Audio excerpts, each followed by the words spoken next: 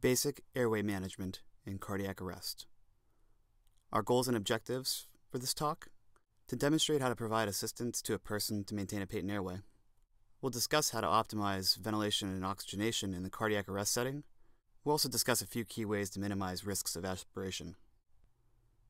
The tongue is the single biggest obstruction that you will face in basic airway management. Notice on the slide that with the patient in a supine position, in the setting of a loss of protective airway reflexes, the muscles of the tongue fall backwards. They impinge along the backside of the throat and obstruct the airway. In evaluating the airway, you want to ask yourself a couple of questions. Number one, is the patient able to maintain and protect their airway? Another way to think about this is can they open and close their airway? The second is is the patient oxygenating and ventilating adequately? If you're able to do good bag mask ventilation with the use of airway adjuncts, particularly if the situation is temporary, you may be able to avoid intubating the patient. The best way to assess for a patent airway is to have the patient speak. If the patient can push air past their vocal cords to make a sound, then the airway is patent. If they have sonorous respirations, you can consider that to be pathologic. You want to look for any obvious signs of obstruction, large neck or body habitus, any decreased muscle tone, and in an unresponsive or apneic patient, you may need to immediately assist their airway.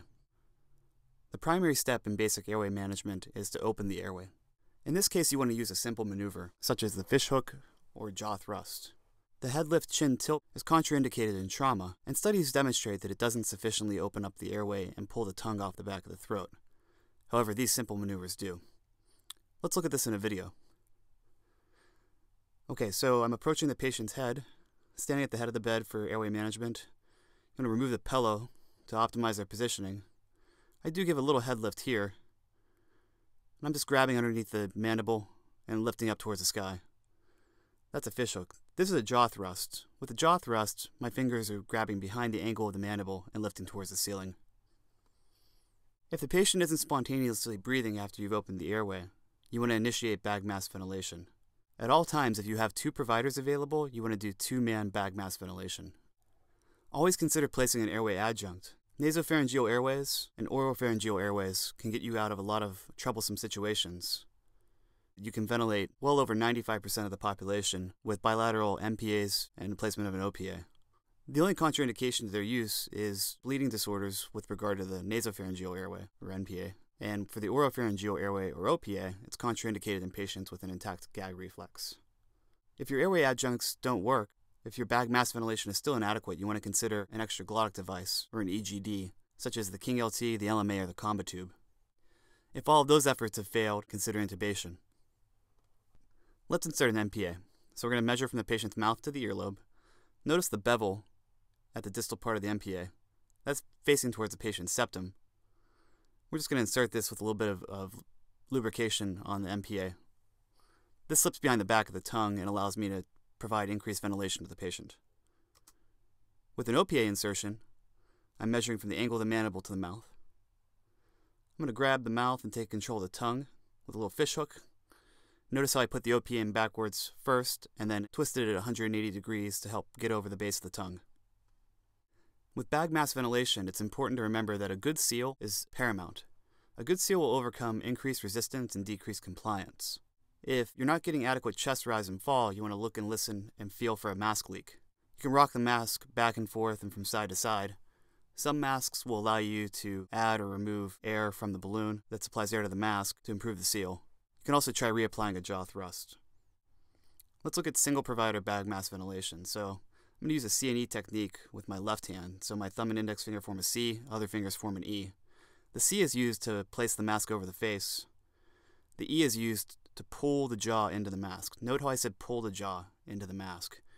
It's tempting to push down, but that may obstruct the airway and push the tongue back. And now I can ventilate the patient with my right hand and look for adequate chest rise and fall. Again, if you feel that this is inadequate, the solution to poor bagging is better bagging. Reposition the patient. You may want to ramp up their shoulders and place a series of blankets or sheets under their shoulders to improve their axes. You can also reapply a jaw thrust. Don't forget about the airway adjuncts. In this case, if you're having difficulty, you want to have a bilateral placement of nasopharyngeal airways and an oropharyngeal airway. If you have two providers, you want to use a two-handed mask seal. You can consider placing an extraglottic device or intubating the patient. Let's talk briefly about improving the seal on the mask. We'll talk about the two thumbs up technique and watch a video here shortly. If the patient has extra soft tissue around the face, you can consider taking the, their cheeks and kind of wrapping them up around the mask to help improve the seal. And in this case, you want to leave dentures in place. So dentures in for bagging, dentures out for intubation. The dentures help to improve the mask seal by giving an extra set of resistance for the mask to lean upon, as opposed to the patient's gums and soft tissue. So let's demonstrate two-man bagging with the parallel thumbs technique. So I'm going to take the mask here and use my thumbs and the thenar eminences of my thumbs to push the mask onto the face while I'm pulling the jaw up into the mask with all four fingers of both hands. You can even rock back and just pull the jaw into the mask in this case. A second provider is providing ventilation. Ventilation strategies in cardiac arrest are fairly simple and straightforward. If you're a lone rescuer responding to an unresponsive patient, Check for a pulse, and if they don't have a pulse, you should focus on providing continuous chest compressions rather than ventilations. Recall that C, circulation, comes before A, airway, and B, breathing in this case. Once help arrives, you can initiate ventilations when a bag valve mask becomes available. Ideally, you'll have two people focused on the airway at the head of the bed, with other people providing CPR. Evidence points towards lower oxygen requirements during the cardiac arrest state. In fact, high concentrations of oxygen promote free radical formation and may be toxic to lung tissue. Positive pressure ventilation can also impede cardiac output and decrease the venous return to the heart.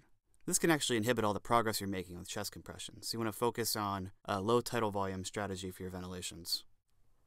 So just to reinforce that, uh, while you're performing continuous chest compressions, you want to try to interpose unsynchronized ventilations in this case. So every five to six seconds, as the person providing CPR comes up off the chest, you want to try to deliver a short tidal volume breath. Consider using a pediatric ambu bag in this case, which contains a 500 milliliter reservoir, as opposed to the large adult ambu bag that contains a liter reservoir. We're looking here on the order of about 5 mils per kilo for the patient. In this case, we're abandoning the ACLS protocol of 30 compressions to two ventilatory breaths with CPR pauses in order to try to maximize our compression fraction. If you have extra hands, cricoid pressure can be maintained by yet a third provider to minimize gastric insufflation, but you want to reinforce the point that cricoid pressure isn't going to help prevent aspiration during active vomiting. Okay, let's discuss the last couple of points on respiratory care in cardiac arrest. You want to avoid long pauses for intubation. A good airway manager should be able to intubate the patient successfully during active chest compressions without long pauses. A short, less than 10 second pause is okay if you're just trying to pass the tube in that case, but you want to avoid the 1 to 2 minute looking at the airway, passing the tube, reattempting to pass the tube, successfully passing the tube, inflating the cuff, assessing for correct tube placement that delays the definitive treatment of the patient in a pulseless state, which is continuous chest compressions. Once the tube has been placed, you want to continue ventilatory breaths every 5 to 6 seconds. It's not quite as important in this case to deliver them with the chest recoil, but if you can, it's a good idea because now we're trying to avoid breath stacking and again to decrease positive pressure ventilation and impaired venous return. You want to place an inline end tidal carbon dioxide detector as soon as possible in a code situation. You can do this between the mask and the bag, or you can do it between the endotracheal tube and the bag. But in any case, getting this on is important for assessing adequacy of your ventilation, adequacy of CPR, and return of spontaneous circulation, as is discussed in the cardiocerebral resuscitation lecture. Extraglottic devices, in this case, we're trying to transfer the seal from the face to an extraglottic location. Anybody with skills in basic airway management can place one of these devices. The laryngeal mask airway is one example of an extraglottic device that can be placed blindly. The balloon is passed into the patient's mouth, the tip inserts into the proximal esophagus, the cuff is then inflated, and the balloon inflates and provides some measure of protection of aspiration of gastric contents. Newer models have additional features to help minimize the aspiration risk. The advantage of this insertion is that you don't need to manipulate the head or the mandible in order to provide an airtight seal. Most LMAs also have a space to allow for G-tube insertion to allow you to decompress the stomach and to remove gastric contents. The King LT is another extraglottic device that can be placed blindly. In this case, the tube is passed into the proximal esophagus. The King LT has two balloons that are inflated simultaneously with a single cuff. You want to inflate this with a large syringe, and you want to watch the tube elevate towards the ceiling to confirm placement. Between the balloons, there are ports that allow for passive ventilation. Let's look at a King LT insertion. So I'm going to open the patient's airway up here, place the King LT until it's seated. Use a large syringe. In this case, a 60 ml syringe would have been better. You could use a smaller one if that's all you have. And notice as I inflate that the tube is elevating towards the ceiling. Let's just focus on the tube to see what's happening there. So, again, inflating the tube, tube's rising towards the ceiling, and that rise indicates that it's placed in the correct position. This concludes the lecture on basic airway management and cardiac arrest. Thanks to the media production team at the Center for Health and Technology and the Center for Virtual Care for their assistance in this production.